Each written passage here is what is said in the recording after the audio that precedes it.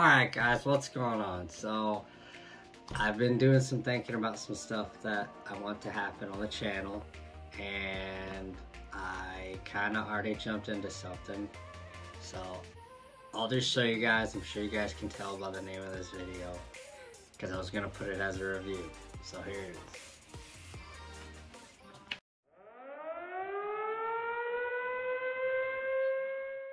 is. Boom. Can you guess what it is? It's not just a bag. Boom. Look at that beauty.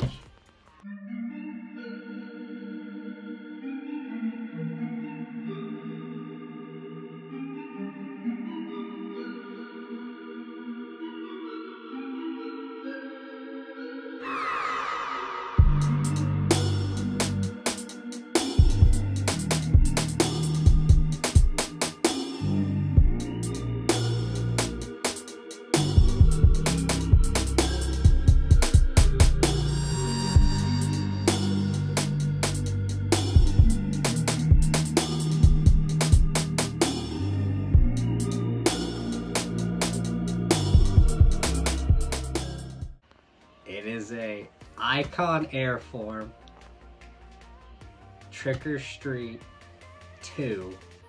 So it's it doesn't have the those weird like ducks on the top and there's green stuff coming out of it now instead of just being like a normal jack-o'-lantern.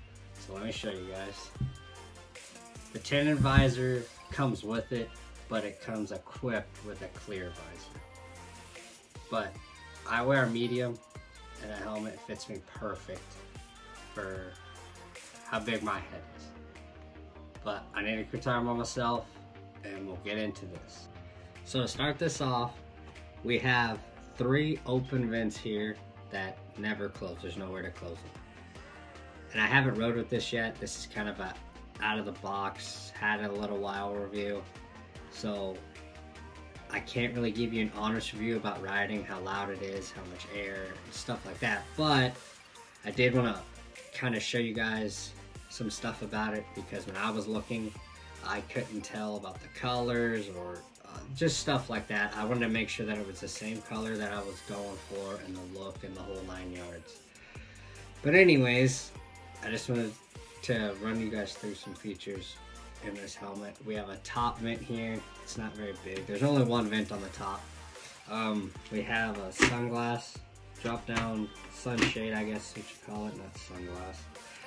And then you have a, a pin over here to kind of hold your visor. You lock it in so it won't come up at highway speeds or anything.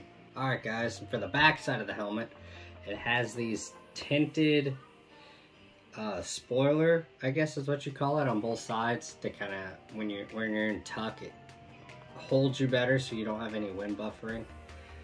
And we also have an exhaust fin up under here. This helmet is DOT and ECE rated. And there's a couple more ratings, but if you're not in that country, then you don't get it with this helmet in the USA. Alright, so as for some features on this helmet, I decided to go with the communicator to accept calls, listen to music, stuff like that. That way I'm not worrying about who's calling me in my pocket or if there's an emergency something. Something like that. Anyways, it comes with two speakers, a microphone, a Velcro adhesive pad that you could stick on your helmet so you can just pull it off, charge it and whatnot, which is what I have on this one. They also have one that tucks up under the shell of the helmet to hold it better, to make sure that it won't fall off or something when it gets a lot of wind at it. But anyways, with that, we're gonna go inside the helmet where the interior is a Hydra-Dry icon uh, material, I guess. But it it works pretty well. I got a little hot in this helmet wearing around, breaking it in. But uh, it, it fits really good if you have an immediate oval head shape. It grabs your whole head and feels like it's never coming off. Even though I got the right size. I also really like the design of this helmet. The smoking jack-o'-lantern I thought was super cool, even though it doesn't match anything on my bike or any of my gear or anything like that. I just love the design. I thought it was really cool. So I'm gonna give you guys just a little spin here of it. So you can kind of see it a little better.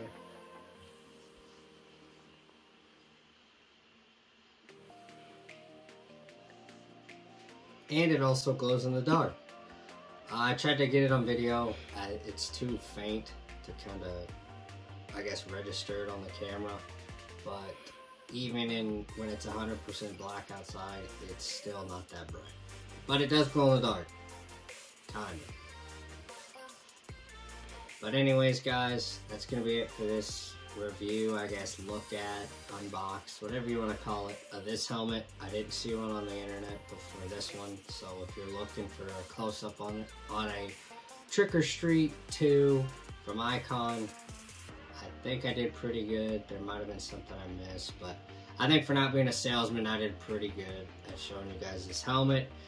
The next couple videos will also be my gear. We'll probably go into the communicator a little better so you guys kind of hear the quality of it and all the features and stuff like that. But that's going to be it for this one. And as always, thank you guys for watching. If you like the content, please like, comment, and subscribe.